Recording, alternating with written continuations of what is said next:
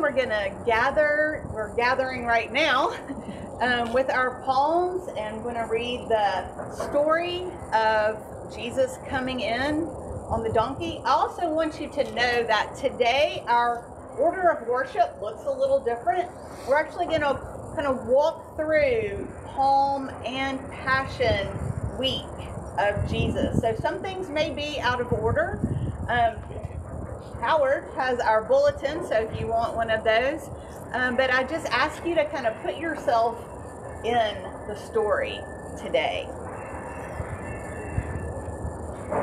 We begin with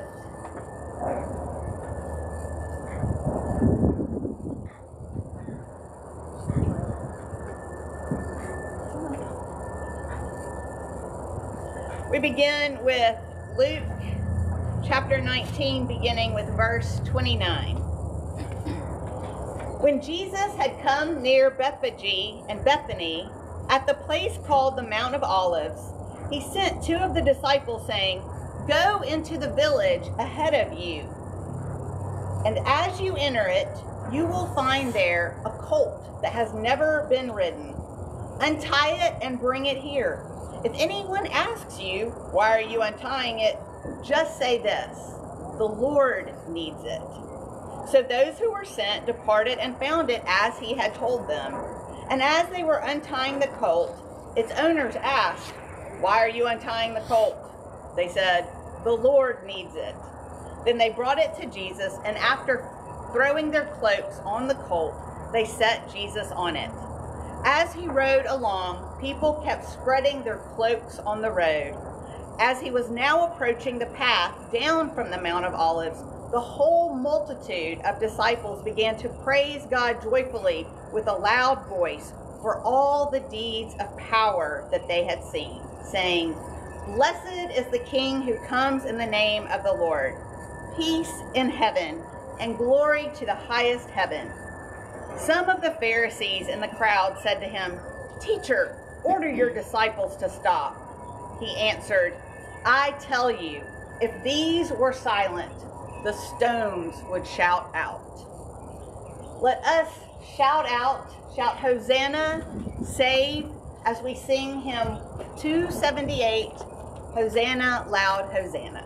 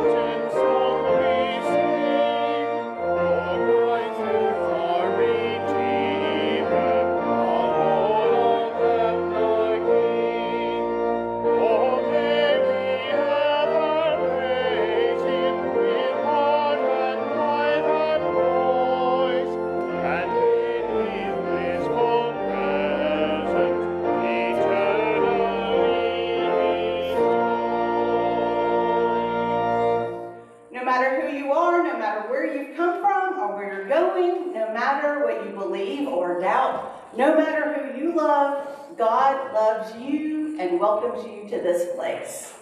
Amen. Good morning. Good morning. Palm Sunday is one of my favorite Sundays of this whole year. And I learned to sing Hosanna Loud Hosanna in this church as a small child. And I never hear it without thinking of the ones who shaped me, molded me, and now wait for me and serve as my cloud of witnesses. So let us join together as we praise this day that gives us the hope as we look forward to Holy Week. I have the pleasure of giving the announcements. First off, Good Friday, we will be joining with Avondale United Methodist Church. That is April 15th, and we will be worshiping at 6 o'clock p.m. in the service that remembers Jesus' trial, conviction, and crucifixion. The address for Avondale is located on the back of your bulletin, but we will be parking in the parking lot there with the entrance that is on Fifth Avenue South. Now, the subject, again, that has been near and dear to my heart, the Easter egg hunt. I cannot thank you for all that you have done. I texted Emily pictures of my overloaded dining room table as we were sorting out and putting together prize packages for the children who will attend this event. I have sign-up sheets out on the um, bulletin board. If you would like to sign up for something specifically, just kind of let me know because I have a lot of floaters that have said, where you need me, I will go. But if I know that there's something you specifically want to do, um, let me know. Also, a new surprise, we will have pictures available with the Easter Bunny. So if you want your picture made with the Easter Bunny, or you may know of a young person who does, be sure and tell them to come in and see the bunny who will be seated because the bunny can't see out of the eye holes in the costume. Next Sunday will be our Easter worship. Invite a friend. It is a glorious day and one that we want to share with one another. Also, next Sunday, if you will, please start bringing stuffed animals for the Amelia Center. It is um, a program for children, parents, families who have lost a loved one. It too is near and dear to my heart. And I would ask that you support their wonderful ministry because I know what a difference it made in my life. Um, they say around 10 inches, so, you know, do not bring the life-size teddy bear. Please bring something that is manageable. Um, this one really excites me.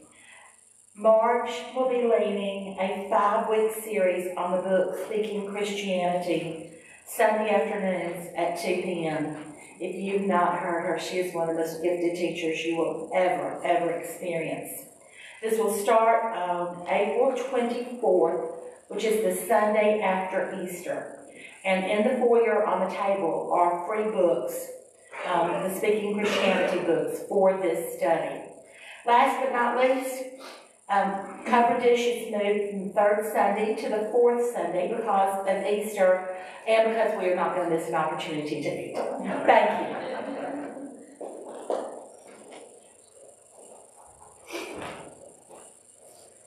Let us pray. Lord, as we remember how Christ the King entered Jerusalem to the sounds of joyful shouts. Increase our faith and listen to our prayers so that we may praise you every day by always living in him. For Jesus lives and reigns with you and the Holy Spirit, one God, now and forever. Amen.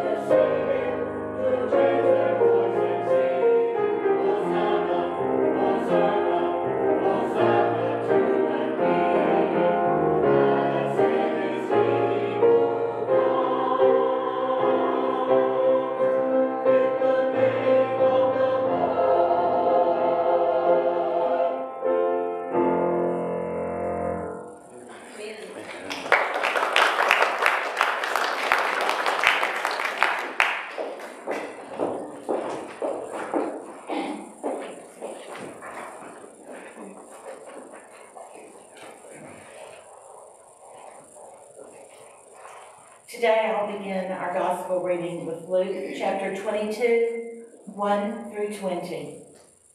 You will stand for the reading of the gospel.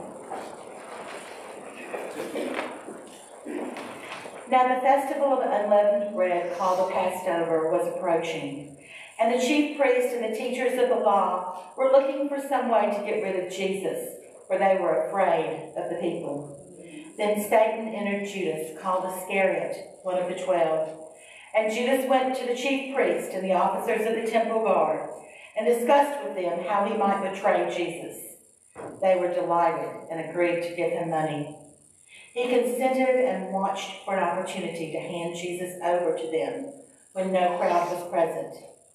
Then came the day of unleavened bread, on which the Passover lamb had to be sacrificed. Jesus sent Peter and John, saying, Go and make preparations for us to eat the Passover. Where do you want us to prepare for it? They asked. He replied, As you enter the city, a man carrying a jar of water will meet you. Follow him to the house that he enters, and say to the owner of the house, The teacher asks, Where is the guest room, that I may eat the Passover with my disciples? He will show you a large room upstairs, all furnished. Make preparations there. They left and found things just as Jesus had told them.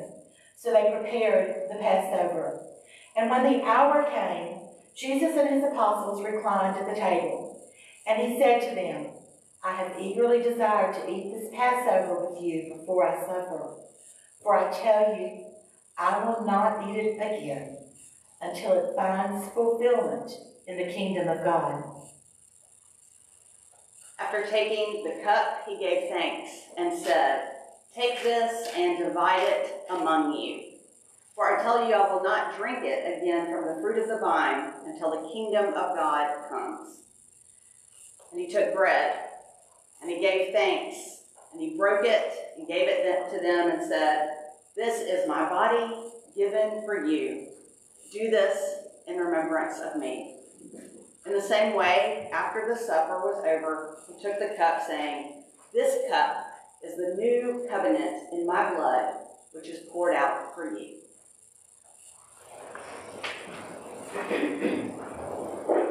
May we pray. Gracious God, pour out your Holy Spirit gathered here and on these gifts of bread and wine. Make them be for us the body and blood of Christ that we may be for the world the body of Christ, redeemed by his blood. By your Spirit, make us one with Christ, one with each other, and one in ministry to all the world until Christ comes in final victory and we feast at his heavenly banquet. Through your Son, Jesus Christ, with the Holy Spirit in your holy church, all honor and glory is yours, Almighty God, now and forever. Amen. As we come forward for communion today, I encourage you to sing hymn 2254, the number's up here, and it's in our small hymnal, The Faith We Sing, in remembrance of me. You'll come forward, I'll give you some bread, and then Belinda will have a cup for you. You're invited to come as the ushers show you.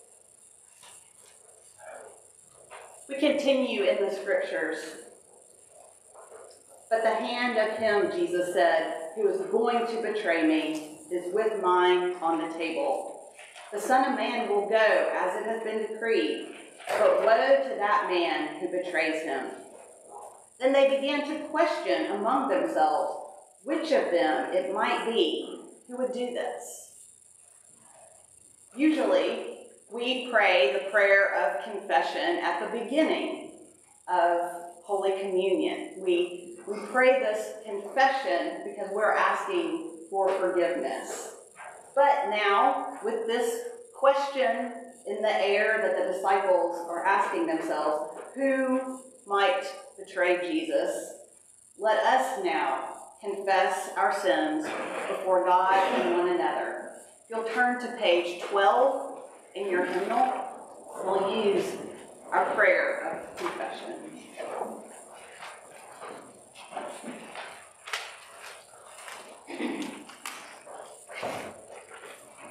Merciful God, we confess we have not loved you with our whole heart. We have failed to be an obedient church. We have not done your will. We have broken your law. We have rebelled against your love. We have not loved our neighbors, and we have not heard the cry of the needy. Forgive us, we pray. Free us for joyful obedience through Jesus Christ our Lord. Amen. Hear the good news. Christ died for us while we were yet sinners. That proves God's love toward us. In the name of Jesus Christ, you are forgiven. In the name of Jesus Christ, you are forgiven. Glory to God. Amen. Our next gospel reading is from Luke 22, 39 through 46. Jesus went out as usual to the Mount of Olives, and his disciples followed him. On reaching the place, he said to them, Pray that you will not fall into temptation. He withdrew about a stone's throw beyond them and knelt down and prayed, Father, if you are willing, take this cup from me, yet not my will, but yours be done. An angel from heaven appeared to him and strengthened him. And being in anguish, he prayed more earnestly, and his sweat was like drops of blood falling to the ground. When he rose from prayer and went back to the disciples, he found them sleeping, exhausted from sorrow. Why are you sleeping? He asked them. Get up and pray, so that you will not fall into temptation.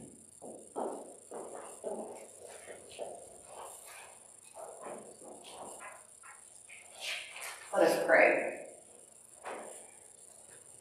Gracious, most powerful, and living God, we give you thanks for all you have given us.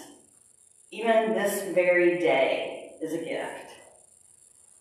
We are sorry for falling asleep, falling asleep in our discipleship and in our care and compassion. It's hard to sit in discomfort and awkwardness. It's hard to sit in the pain. It's hard to walk with you on this week.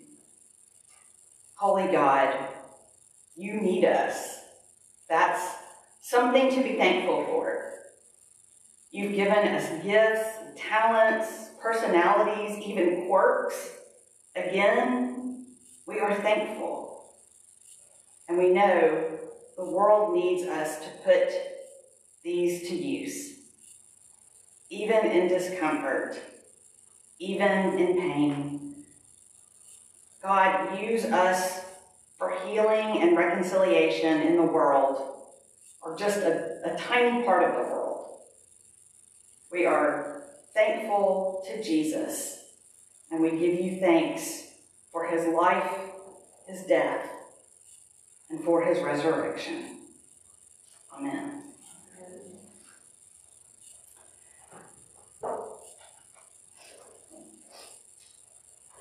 Our last scripture, last gospel reading today, We'll continue in Luke 22, and I'll ask you to stand as we pick up with verse 77. 47, sorry. While he was still speaking, suddenly a crowd came, and the one called Judas, one of the twelve, was leading them. He approached Jesus to kiss him, but Jesus said to him, Judas, is it with a kiss that you are betraying the Son of Man? When those who were around him saw what was coming, they asked, Lord, should we strike with the sword? Then one of them struck the slave of the high priest and cut off his right ear. But Jesus said, No more of this. And he touched the ear and healed him. Then Jesus said to the chief priests, the officers of the temple police, and the elders who had come for him, Have you come out with swords and clubs as if I were a bandit? When I was with you day after day in the temple, you did not lay hands on me. But this is your hour and the power of darkness. Then they seized him and led him away, bringing him to the high priest's house. But Peter was following at a distance. When they had kindled a fire in the middle of the courtyard and sat down together, Peter sat among them. Then a servant girl, seeing him in the firelight, stared at him and said, this man also was with him, but he denied it, saying, Woman, I do not know him. A little later, someone else, on seeing him, said, You also were one of them. But Peter said, Man, I am not. Then, about an hour later, still another kept insisting, Surely this man also was with him, for he is a Galilean. But Peter said, Man, I do not know what you're talking about. At that moment, while he was still speaking, the cock crowed. The Lord turned and looked at Peter. Then Peter remembered the word of the Lord, how he had said to him, Before the cock crows today, you will deny me three times. And he went out and wept bitterly. Now the men who were holding Jesus began to mock him and beat him. They also blindfolded him and kept asking him, Prophesy, who is it that struck you? They kept heaping many other insults on him. When the day came, the assembly of the elders of the people, both chief priests and scribes, gathered together, and they brought him to their council. They said, If you are the Messiah, tell us. He replied, If I tell you, you will not believe. And if I question you, you will not answer. But from now on, the Son of Man will be seated at the right hand of the power of God. All of them asked, Are you then the Son of God? He said to them, You say that I am. Then they said, What further testimony do we need? We have heard it ourselves from his own lips.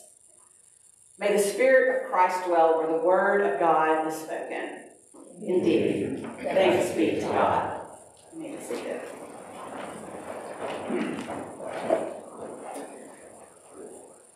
Something I cherish in life are the stories of my grandparents. And just a few weeks ago, I told you in a sermon a story about my grandmother and her resilience at 100 years old.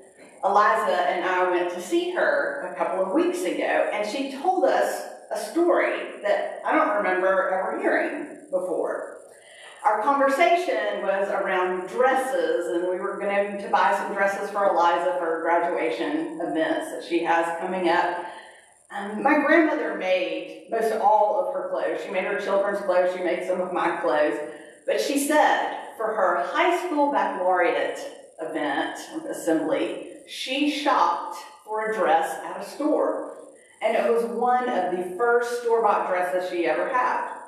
And the night, the afternoon of baccalaureate, as she was getting dressed, she became very nervous. And she had this thought come over her that she'd never had before with her handmade clothes. And it was, what if other girls come in the same dress? now, it turned out that no one else had the same dress, but what struck me was how my grandmother felt as a teenager. She felt like teenagers. She felt like I had as a teenager. I used to really struggle with my clothes, and I just always felt anxious about them. But I had never considered that my grandmother had those same feelings because she's always been a confident person in my eyes, except for maybe a Razorback game that's a, a nail biter and she gets a little nervous. But I appreciated that story because it connected me to my grandmother in a new way. Isn't that what stories do? They connect us. And I appreciate and cherish all the stories of my, my grandparents they help inform me and they tell me of my family and even a little of what's in my own spirit. There's a song that we usually sing on Palm Sunday, but we're not singing it today, but you'll know this first line. Tell me the stories of Jesus I love to hear. Things that I would ask him if he were here. Scenes by the wayside, tales of the sea, stories of Jesus, tell them to me. Like the stories of my grandparents, we usually more than just love to hear those stories for hearing's sake or for entertainment or enjoyment, but they inform us about who God is and how Jesus lived and taught us about love and forgiveness and oppression and, and about living. Therefore, if we call ourselves disciples of Jesus, then those stories inform us about living in these ways. They connect us through similar emotions or happenings, what a faithful response is, how in different ways we understand the world. These stories of Jesus are part of a living document, our sacred text, which continues to speak to us. The hearing and the reading and, and sometimes the singing of it doesn't stop there. When, when we hold these words in, in such a place that we call them the gospel, the good news, then our witness to these words and stories that also holds some weight. How is carrying this story of the good news into the world? How are we carrying it into the world? Well, sometimes that's easier to answer in a season like Advent or Christmas or even Easter. Next week, we will read the Easter story and we will talk about being a witness of the resurrection. But how do we, in a week like this, carry our witness? How do we embody Jesus' passion story? At first, the, the crowds cheered. They were gathered, they saw this parade, they had hope, they, they saw a promised new leader, hope of their salvation, and rebelling against the Roman government also kind of brought them together as they shouted words of protest from the Psalms, words of protest and praise, in protest of the Roman governor who was keeping them oppressed, poor, and in a struggle life, but in praise of could he be the Messiah? Could he be the King we have waited for? Blessed is the one who comes in the name of the Lord. Hosanna, save us. Now, these things are good. This gathering, how they spread their, their palms and their clothes down to welcome Jesus as a new king. These are good. But how does their witness change as the stakes begin to be raised in later days? Judas is offered money to betray Jesus. His witness to the story is sold for gold. Can our witness be bought? Do monetary or material desires distract us from our witness? From doing hard work and standing up or, or being there for those who are oppressed? Not staying quiet in the face of injustice, whether that's for ourselves or our neighbors? The disciples, they fall asleep when it's time to pray. And then one turns to violence when the guards come to arrest Jesus. And neither one of these responses or witnesses are what Jesus wants. Peter. Peter is the one who knew him so well. He'd heard the truth. He knew the threat of, danger and violence up ahead. He says at the table, his witness will stand. He will walk with Jesus throughout what is to come. I'll go with you, Jesus, to prison, to death. But Peter falls away. He says, I do not know the man. Is that for self preservation? Is it, in a way, preserving his witness for the rest of the story? Is it just fear overcoming him like it would many of us? Now, the religious leaders want to stop the story. They were the ones who felt they were doing the work of God in the way they practiced their religion. And they want to stop Jesus, so they turn him over to Pilate to rule his fate, which, when we read in the next chapter, chapter 23, we'll see that Pilate was hesitant to do so, so he passes him to Herod. Herod passes him back to Pilate. All these leaders just mostly want to keep the peace, make people happy so they won't riot. The crowds are then stirred to ask for Jesus' death. And the women cry as he walks to Golgotha. And the men crucified on either side of him ask to be saved. What is it?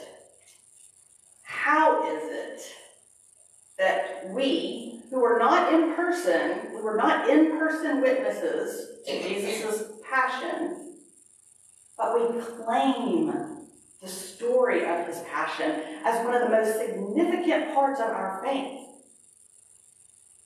How is that our witness? How does that story live in and live out of you? Does worshiping a crucified God make a difference? Does it bring a connection to the suffering in your own life? Throughout this story, Jesus wants to be with his disciples and followers. He says, I have desired to eat the Passover with you. And then on the Mount of Olives, he says, Stay and pray with me. But staying with is hard. How, how do we sit with or stand with those who are suffering today? Those who are God's children? What is our witness of Jesus' story to those who are fighting for their lives and their freedom? What is our witness for the powerless and to the powerful? So at the table, Jesus asked his disciples to remember him. Do this in remembrance of me. But not as a sentimental act. Sentimental act is me looking at a picture of my grandmother in the, her store-bought dress with a nervous smile on her face. But we do so remembering Jesus in a different way.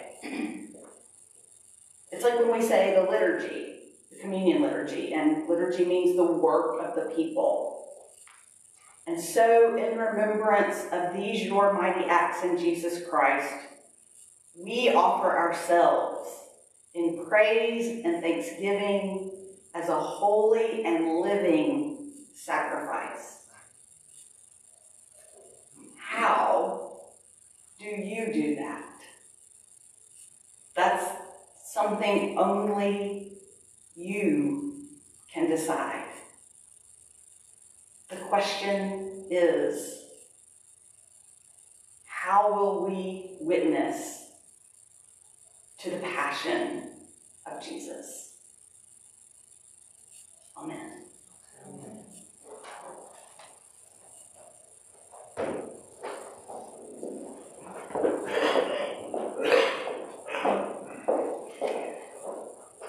To ask the ushers to come forward.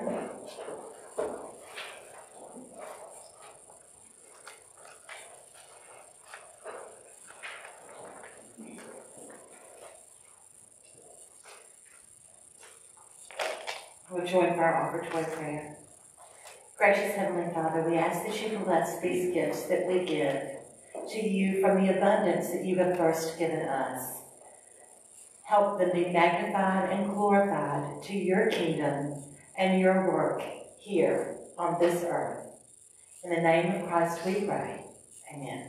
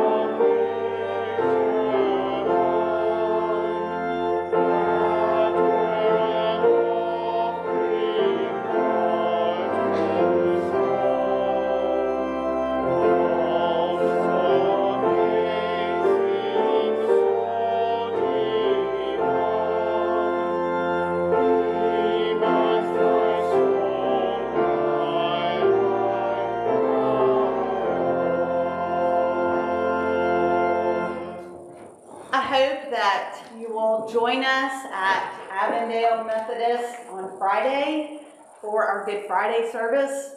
We will be telling the whole Passion story that evening. We will sing, we will worship together in that solemn space and time.